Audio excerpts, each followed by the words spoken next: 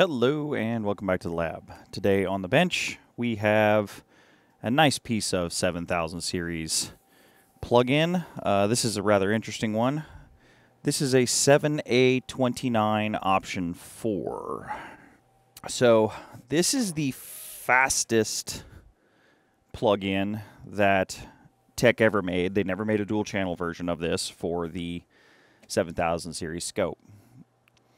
It has a similar sibling plug-in, the 7A19. The main difference between the two being bandwidth. So the 7A29, both of them, option 4 and non-option 4, can go up to 1 gigahertz of vertical bandwidth. The 7A19 can only go up to 500 megahertz. Both of them are 50 ohm plugins, so all of the typical 50 ohm stuff applies.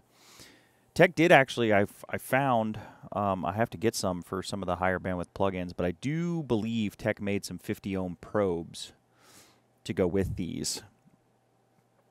Um, and I'd love to pick up a couple of those for the lab. The other thing is, you'll also note, here's a 200 megahertz plug-in right here. Need to fix the button. But on a 200 megahertz plug-in, really can't see it because camera, but we go up to 5 volts of division, and we go down to 5 millivolts per division. On the high-speed plug-ins, we're from 1 to, we're at 10 millivolts to 1 to 1 volt, so they are slightly voltage limited. Now that does tend to happen in scopes when things get fast. Uh, perfect example is some of the fastest stuff that I have in the lab. I have a couple of these which I'm going to try to repair in some other videos. But these are also 50 ohm inputs, but plus minus 3 volts max for damage. So these are very fast plugins. The um, SD26s, I believe, are 12 gigahertz. Is it 12 or 26? 20 gigahertz. I was way off. So the SD26 is a 20 gigahertz plug-in, and it only goes to 3 volts. This is also true on quite modern gear. Um, uh, I know Dave from the EEVblog. He has a, uh, I think it's a three hundred thousand dollar. No, that's not it. There's a, he has a picosecond scope, but it's it's only voltage limited to like five volts on the input. That's all you get. So even when money is no object, uh, this is physics limitations of the semiconductors.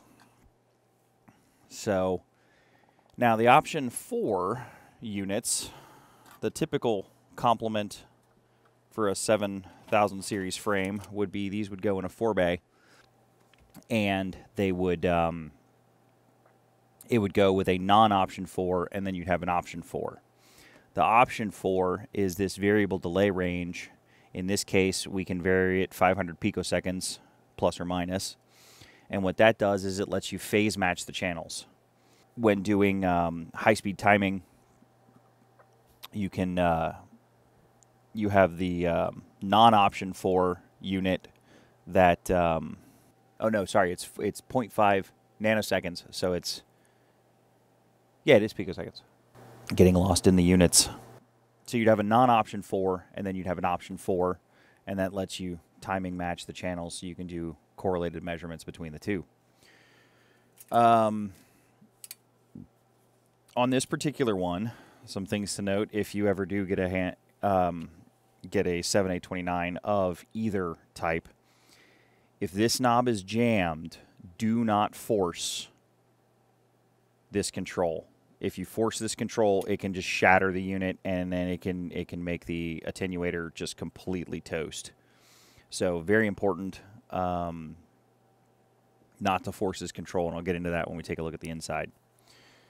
The other thing is the input protection on the 7A19, uh, 7A29 is a little bit better than the 7A19.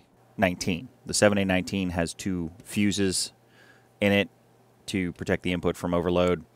Um, and they are very hard to replace and very hard to source if they are needed Fortunately, both of my 7A19 units function, so that's not a problem. I was really actually looking for a um, 7A19 unit, but it turns out this unit and the 7A19 unit came with the um, with a batch of plugins that I found. So I can't actually calibrate this in the lab. To do a full alignment and calibration on this, I would need a 7104A or a 7104, which is the 1 gigahertz frame. I only have a 7904, which is the 500 megahertz frame. So I'm going to kind of check it in, test it, do some things like that, but I'm not going to do an alignment if unless it's way off. I mean, I can align gain and things like that, but the high frequency compensation, I don't really want to mess with that because there's um, I don't have it. Uh, I'll be losing half of its bandwidth using the 7904, so that would cause some problems down the road. Uh, we'll start on this side of the plugin. So we have some incredibly high frequency stuff going on here. Well, not incredibly high, but high for the time.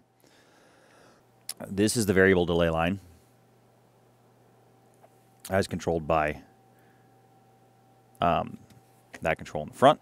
And then the attenuator is where, so that's pretty much all that is over here on this side.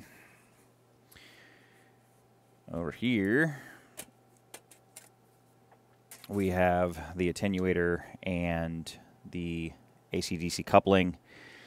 And then we also have some of the ceramic hybrids that uh, are found all over the um, 7904 and the 7104 scopes. So same ceramic hybrids, same elastomer technology, uh, same considerations when moving these around. I did end up having to take a couple of these off when I did the DSA 602 um, repair because I had to pull a board out. These are quite interesting to service, so the best thing is if you don't have to take these apart, don't. um, because getting them lined up again, sitting them in, getting getting a good connection, because the uh, the connection is actually made by the frame to the board, so the chip kind of sits in a hole. Then there's a bridge elastomer in this frame that clamps the chip down and connects to the circuit board at the same time. So it can be entertaining, and actually you can see the differential signaling. Here's some of it right here. Let's see, can we tell where the differential leaves? The scope? Maybe not. But yeah, so it, it comes in here, and then as soon as it hits this IC, it's differential all the way through. So it, yeah, so here's, so signal, signal comes out here, comes into this hybrid, into this high, single-ended, because of the coax, into this hybrid, differential out of this hybrid. Here's starting the differential signaling coming through differential up to the top, and then here's where the differential pops out. So the differential signal's coming over this way, like so, and then it pops out over here. Now the other thing is when Tek made these, they made a fixed gain amplifier because it's a lot easier to make a um, to make a high bandwidth amplifier. It's not easy to make a high bandwidth amplifier that doesn't scream all over the place, but it is easier to make a high high bandwidth amplifier that is uh, fixed gain as opposed to variable gain. So what they do is they know the gain function of the amplifier. They attenuate the signal coming in, so then they have a fixed gain, and that's how they get measurement out of the out of the out of the plug-in is because I know how much I've cut the signal at the front end based on the uh, setting of the control. But I also know how much my gain is coming out the backside, so that's how I can get calibrated measurement. The signal comes out of the attenuator here. So this is actually, so this is the attenuation block. We'll get into that in a little bit because this is why that front control jams.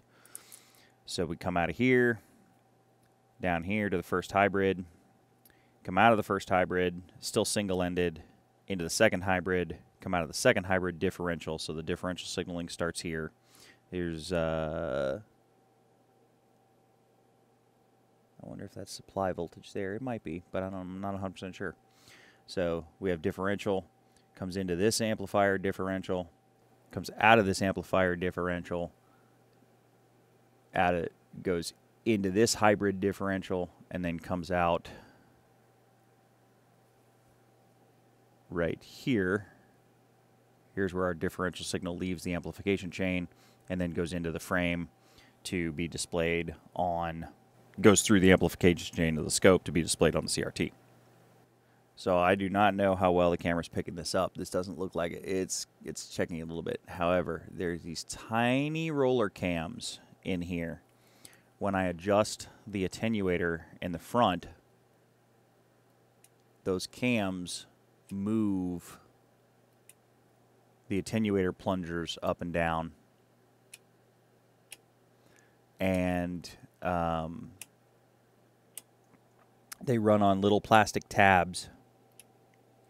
And what happens is those little plastic tabs shatter. If it's if it's jammed and you force the control those plastic tabs shatter and then you have to rebuild this attenuator assembly which would be almost impossible at this at this time uh, in 2022 because it's just the the parts are unavailable. So it would pretty much destroy the plug-in okay here's a close-up of the coupling switch right here are the little plastic tabs that actuate the plungers and the attenuators. Same thing too on the range coupling switch. So that's what you don't want to have crack off the front end or crack off the um, control because it'll wreck the um, wreck the plug-in. So for now we have a little bit of switch damage up here. Looks like this has been glued a few times.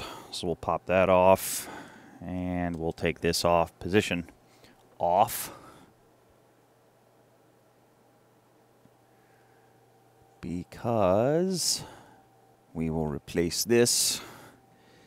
Because even though I uh, can only get 500 megahertz out of this, would be nice to use in the lab if it works.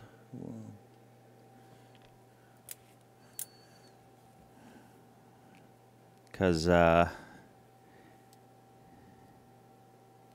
the attenuator's all in good shape.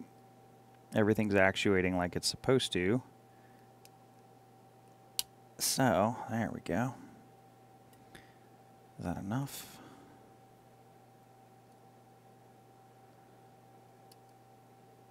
Nope. Okay, well, the shaft is a little bent. So we'll have to bend that back. It's just a steel steel shaft, which is fine. Um, I don't know if the camera... Oh, yeah, camera's picking up the lean a little bit. So that's, at least in terms of the camera, that's straight. That looks a lot better already now that it's not bent and we have a uncracked knob. So the next thing to do um, is to get out the uh, frame, get all get some of the gear warmed up, and we'll check the gain. If we do have to adjust the gain, that's fine. Um, it won't be a big deal. But yeah, we'll just give it a test, see if see if everything works, and go from there. Well, it seems our gain has drifted a little bit. I have the calibrator hooked up, and because this is a 50 ohm input, we need to divide the calibrator by two. So I have it set to 100 millivolts per division, one volt on the calibrator, which gives me a attenuation factor of uh, divide by two, so this is 500 millivolts. Now, the problem is this waveform looks looks pretty good. However, uh, I have the variable out, and it is saying it's 3.5% uh, high. So if I turn the variable in, that's what it's really reading. So we are a little off. But that is a simple matter of is a simple matter of tweaking this control right here.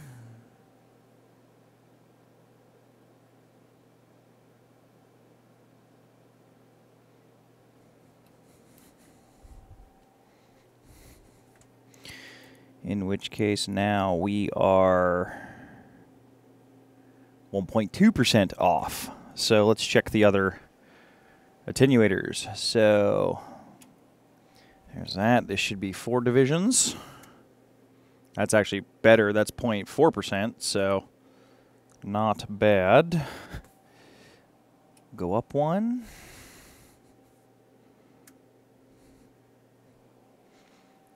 And let's see where we're at here.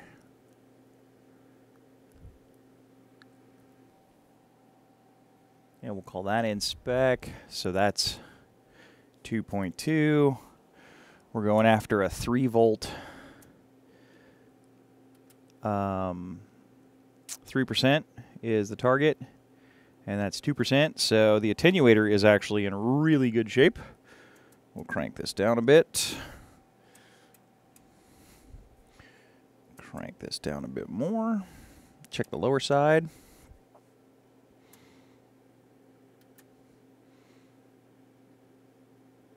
Two percent.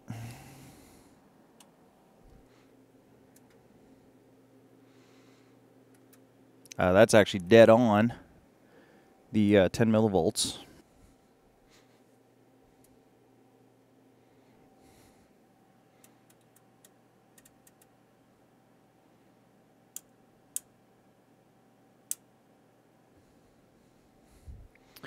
And that is pretty much dead on as well. There's some fuzzing out in the um, in the signal. That's because it's a high bandwidth amplifier. The lower the bandwidth, the cleaner it looks. The higher the bandwidth, the fuzzier it gets because it's picking up more noise from the ambient. So from a volts per division standpoint, we look pretty good. What does our edge speeds look like? Oh, this looks fun. So this looks awful, but it's really not. So let's wind up... Uh,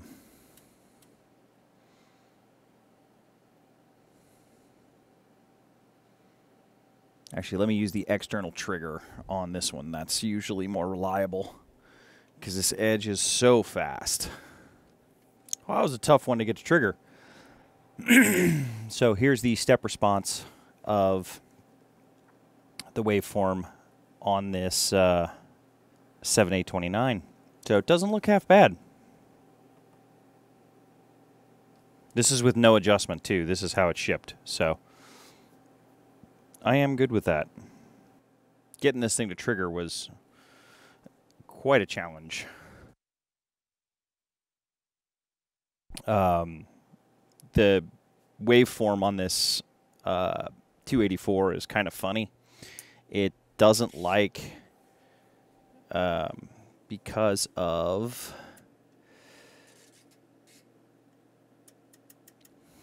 this first step when the tunnel diode starts doing its thing, turn this down, that's super sensitive to the screen. When the tunnel diode starts doing its thing before it does the quick rise, it um, it's real hard to get this to trigger. And you can see the waveform's not 100% clean either. As, as it slows down, it kind of ramps up. This high frequency waveform is only good for the beginning what is it? Like 20 nanoseconds of the waveform for getting it uh, for doing an alignment. So, because other than that, you lose the flatness. So this is only for the hot, for the uh, very quick rising edge. I do want to calibrate this unit, not the 7824, but the 284, in a future video. I will be doing that. We have a uh, extremely fast scope in the lab for doing that. I need to work on 70 picosecond edges. So that will be coming here in the future. Here's the wave shape on a 1 gigahertz scope. So this is what it looks like. So it's nice and flat after the peak. I actually have it dialed way back. This is going to take a while to build since I moved it because I have a bunch of sampling turned on. But it comes up and it flattens out real quick. One thing I didn't notice is I talked about the jamming of the um, attenuator on this plug-in. It needs lubrication. That's its bigger. That's its biggest problem. Is if they're seized up like that, they need to be broke. They need to be moved in gently and then lubricated correctly to uh, bring them back to functioning. All right, so there we go. Uh, just a little look at the uh, 7A29 and a little bit of background on some of these 7K plugins. This is about as tested as I can make this one until I either, well, I don't know if I'm ever going to get a 7104, but this is about as tested as I can make this one. But it's working just fine, so we can use it in, actually we can use it in all the frames, but it would be a waste to use it in anything other than a 7904 and a 7854 because putting this in just like a 7603, which is a 100 megahertz frame, would kind of be silly. So, with that, I will see everybody in the comments and in the next video.